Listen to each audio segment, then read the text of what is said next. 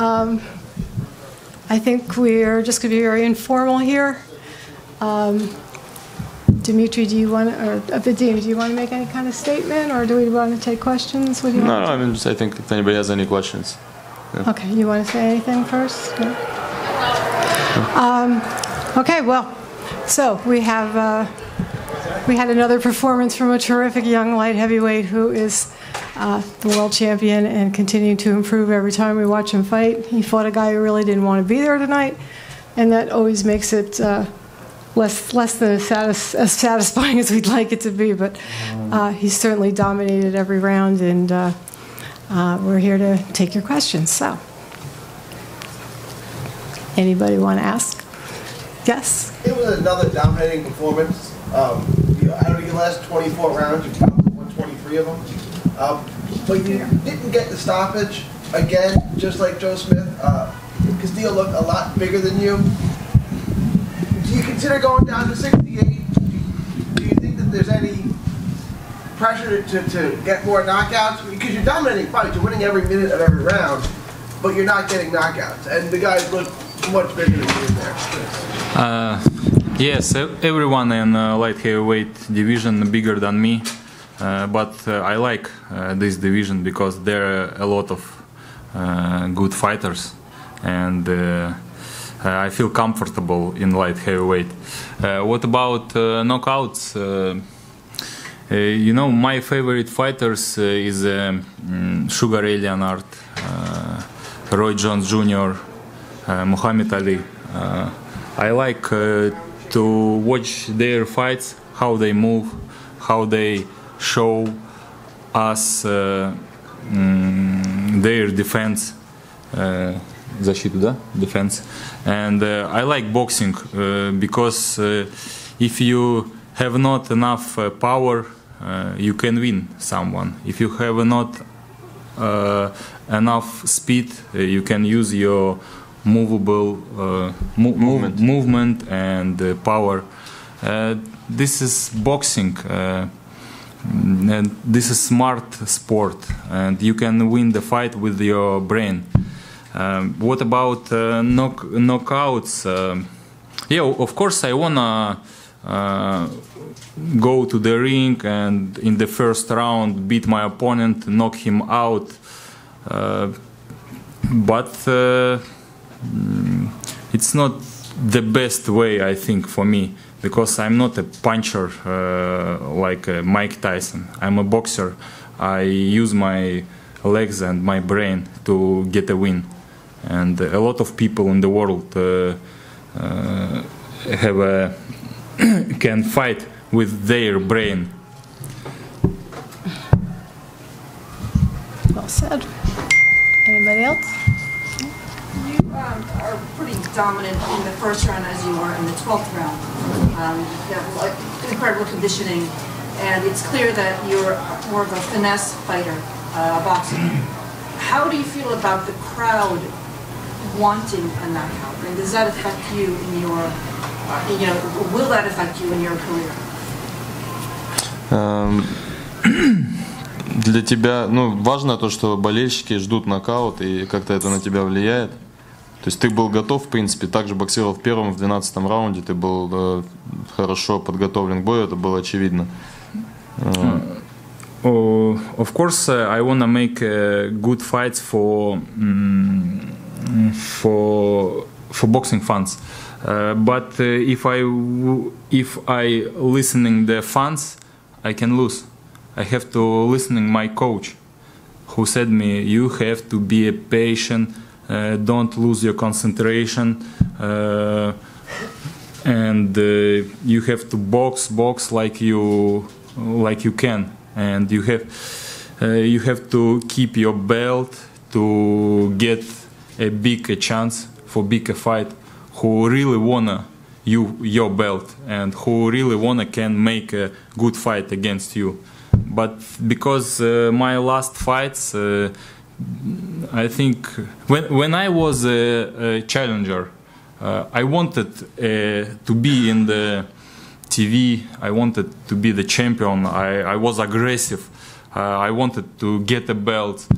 Uh, but now I am a champion, and I don't understand why my challengers didn't wanna get my belt. They just spending that time in the ring against me. I think. Kathy, uh, the fight practically just ended, but from talks that you've had with Dimitri and the team, uh, where could we go from here? Because as he's saying, the challengers really aren't stepping up. Um, so possibly looking towards a unification. Have, has there been any talks of uh, what could possibly be next?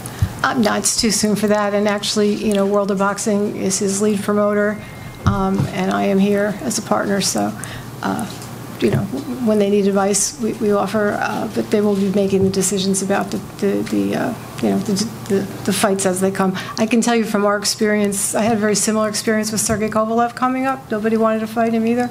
As the, as the uh, pots get bigger and bigger, it gets a lot easier to get people to come in who, who want to come in and engage. Because I could tell you, I, there were moments in that fight where I got the feeling if Castillo had wanted to engage the way he was able to for, in spots, it would have been a, a barn burner. It would have been an amazing fight. So he's got to get to that level where, where those opponents are coming in who are capable. And it, it'll happen. It takes patience. He's very good that he's so patient because it'll get, he'll get there. A question for Vadim. Vadim, you know uh, Dimitri very well. You, you, you see him in the sparring, uh, you him in training camp. How many gears he already he has more to fight those best fighters? Because we all know he wants to fight better beers. We heard Canelo, we heard Gvozdyk, whoever. But how much better he can be? Is he one of those fighters who needs the bigger opposition to, to fight better?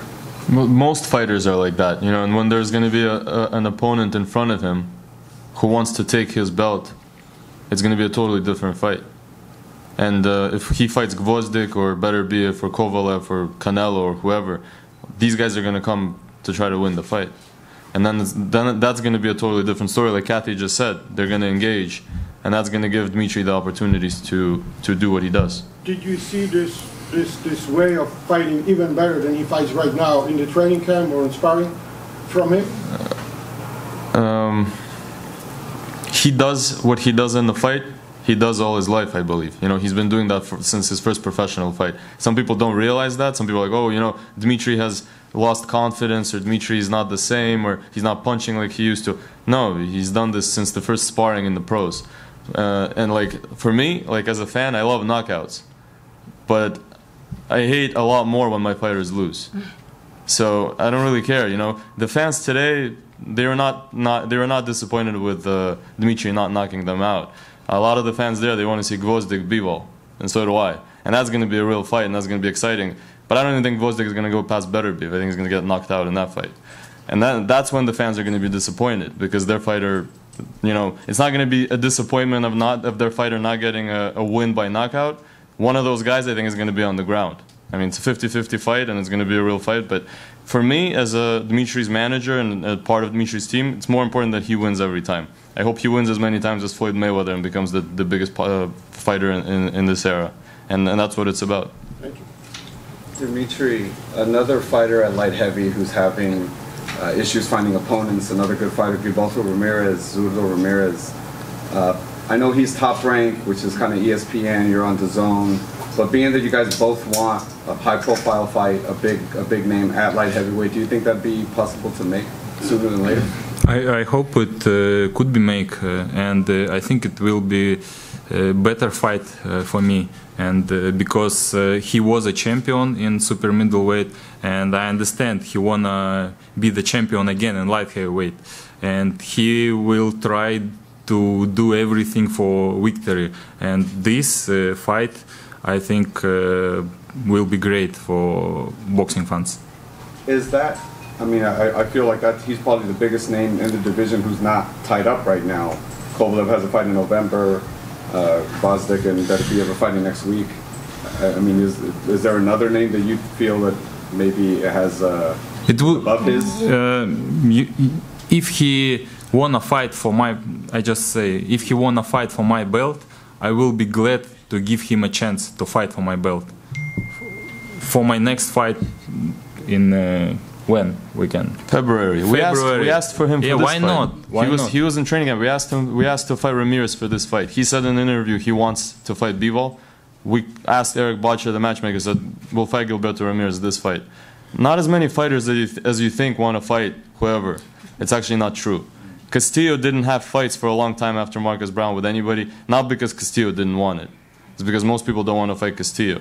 Um, most people don't want to fight Chilemba. Uh, one guy, Marcus Browne, wanted to fight Pascal, got knocked out. He had the opportunity to fight Dmitry Bivol for a couple of million dollars right there, you know. And a lot of these guys, they don't really want to fight anybody. It just seems like they want to fight anybody. Gilberto Ramirez, we know him really well. You know, he's, he's I champion. know, you know. I know him. He's a good guy. We know each other. We spar, spar uh, each other, and uh, I respect him uh, like a person. He's a good person. Like a boxer, I respect him And uh, this guy really достоин Uh, deserves. deserves a chance to fight for for belt in light heavyweight division. When was that sparring, and can you can you talk to us about uh, what you remember from that? No, I don't want to talk about this sparring. We don't talk about sparring. Э, Я буду болеть за красивый бокс, потому что э, мне нравится работа и Гвоздика в ринге, мне нравятся его мысли в ринге, как он двигается, и в то же время мне знаком Артур Битербиев, э, и вроде он мой соотечественник Артур, да, а они оба все-таки мои оппоненты, и поэтому пусть э, выиграет сильнейший, наверное. С кем хотелось бы больше встретиться? А вы знаете, честно, без разницы, вот э, нет такого, потому что они оба, э, вот что Артур, к нему нужно очень серьезно подходить, прям это, ой, я что-то на русском заговорил, Нормально. Что к Артуру нужно прям серьезно подходить, что к Гвоздику просто, они оба сложные, тут э, нет э, выбора такого, с ним было бы легче или было, бы сложнее.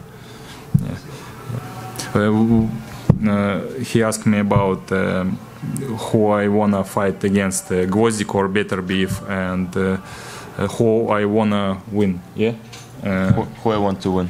who I want to win, and uh, for me it doesn't matter uh, because both of guys uh, is my uh, Uh, a possible poss- opponent. possible opponent. Yeah, and I like uh, Gvozdyk style. I like uh, his uh, uh, thinking in the ring, uh, mo- mo- movement, and uh, I like uh, Beterbiev too. And uh, both of guys, it's hard uh, challenge uh, challenge for me.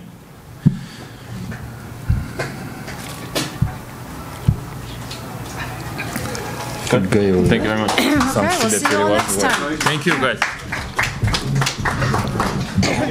So,